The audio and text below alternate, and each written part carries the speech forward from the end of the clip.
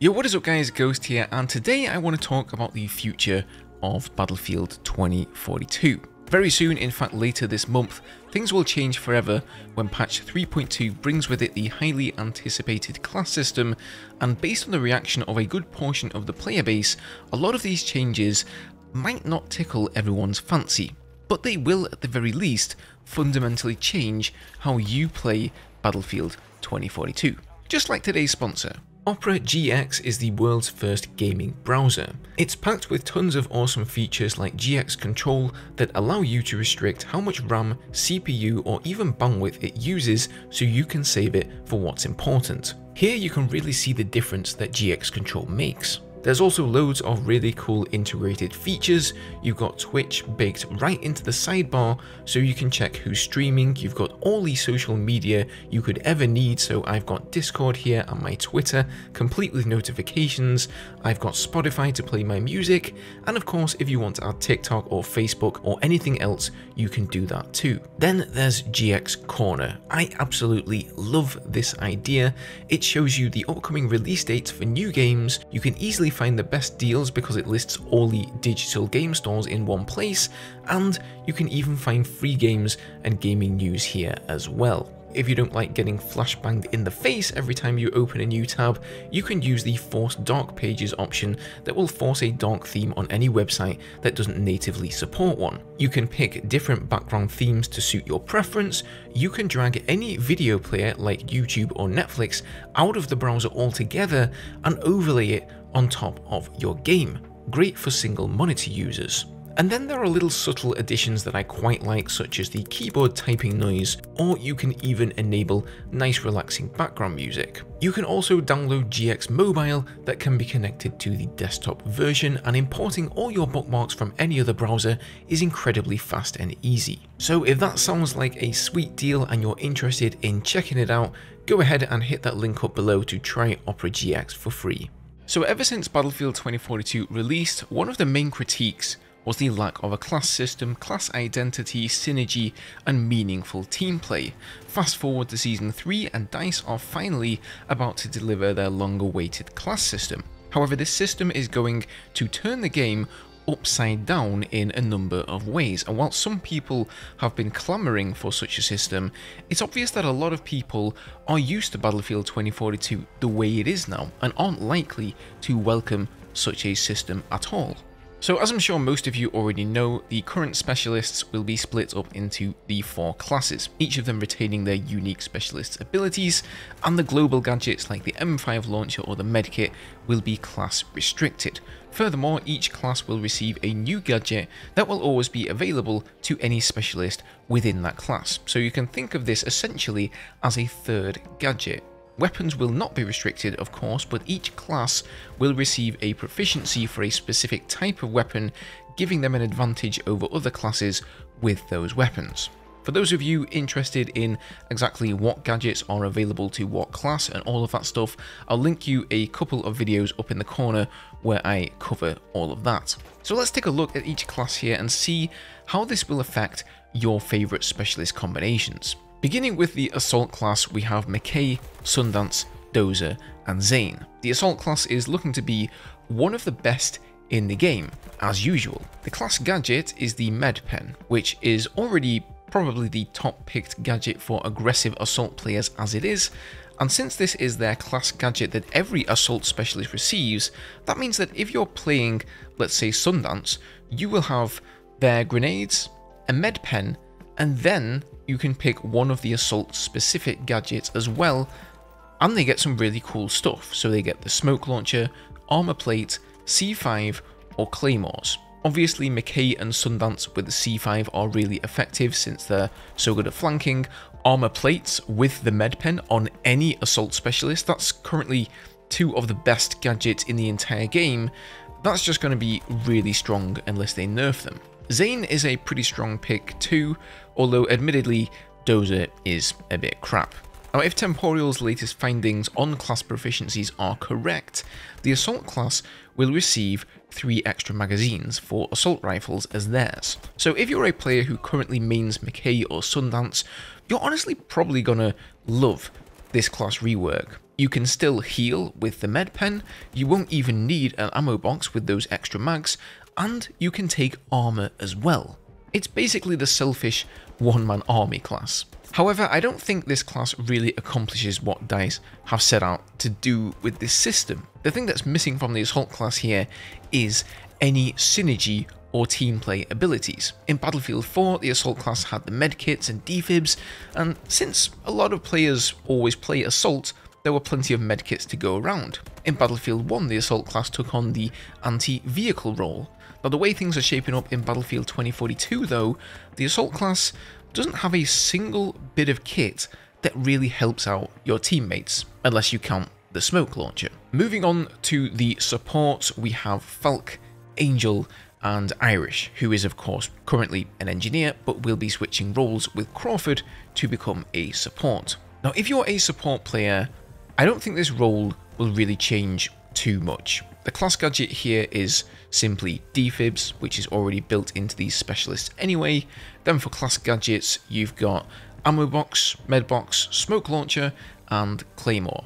So one of the major changes here, of course, is absolutely no anti-vehicle stuff at all. No C5, no mines or anything like that, so you will be more susceptible to vehicles. Also no armor either, since that's only for the assault class, so overall you will be a bit weaker. But other than that, you can still make a lot of your favourite combinations. Falk with an ammo box, Angel with a medic box.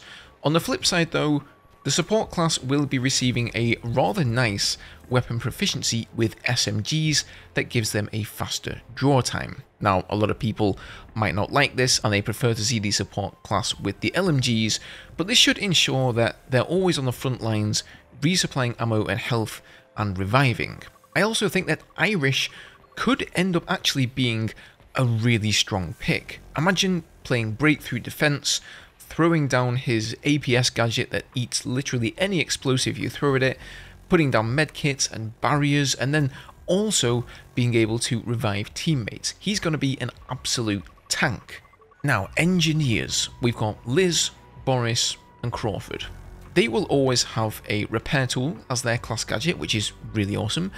I think them being the only class with launchers is mostly fine. That means that, you know, if you're playing support or assault, you will have to drop those healing abilities that those classes have to be able to grab an anti-vehicle launcher, although I do worry that assault and support may be so good that we perhaps end up with too few engineers on the battlefield, but I'm sure DICE will then buff the launchers accordingly. Now this, I think, is in a bit of an odd spot. Since she has her TV missile, that means she actually can't equip three out of the five possible engineer gadgets. So she can't take the M5 launcher, she can't take the AA missile, or the Javelin, which will be coming in from Portal as part of the class update.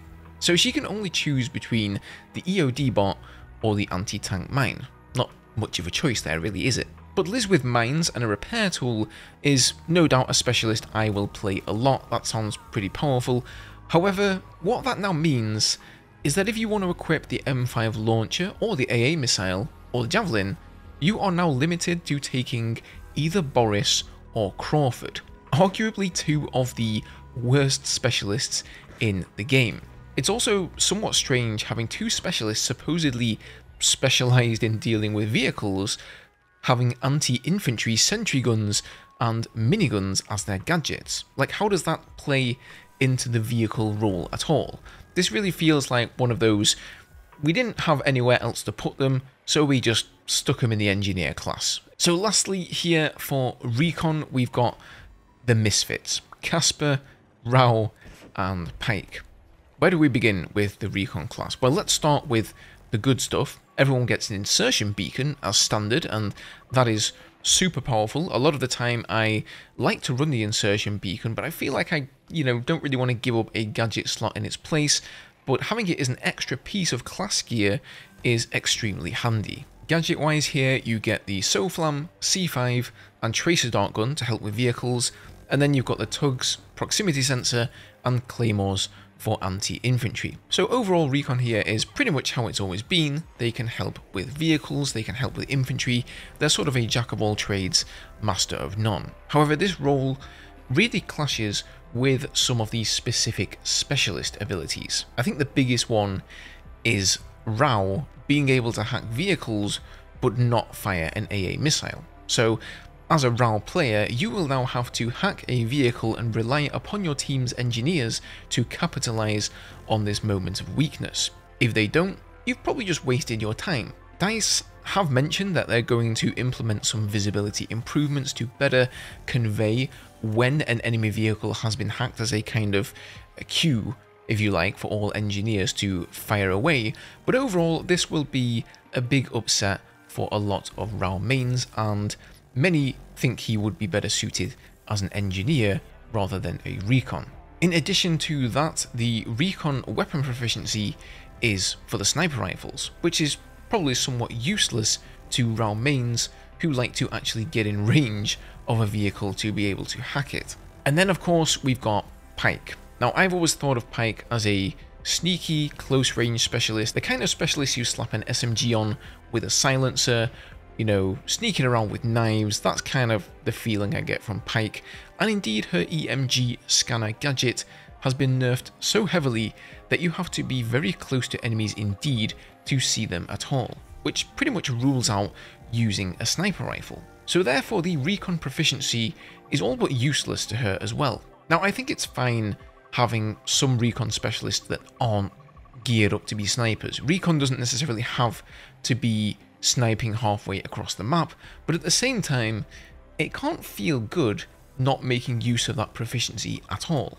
I would really like to see DICE give the recons maybe another proficiency with utility weapons as well, like the faster reload time that they previously had for, I believe it was the engineer class. So, you know, if you want to take pike with a shotgun, for example, you've got that option there. Overall, I think it's safe to say that whilst I do applaud DICE, of course, for implementing this class system and making an earnest effort to better team play and that which makes Battlefield Battlefield, I think we'd all be kidding ourselves if we believe for a second that these changes will be met with open arms from the whole player base. This may not necessarily bring back the players who wanted such a system in the first place. Closing the stable door after the horse has bolted comes to mind.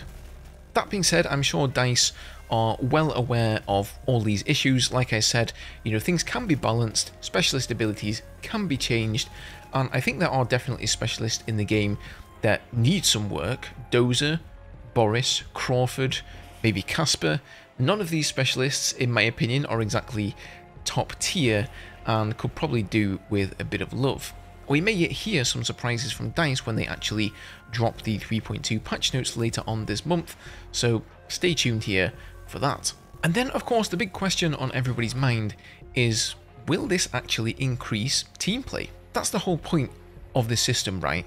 Yet Battlefield 2042's squad management system is extremely bare bones, and until we're able to preview squads and the players within, switch into squads of our liking, and most importantly, create and manage our own squads, I think in terms of team play, a class system is only half the battle.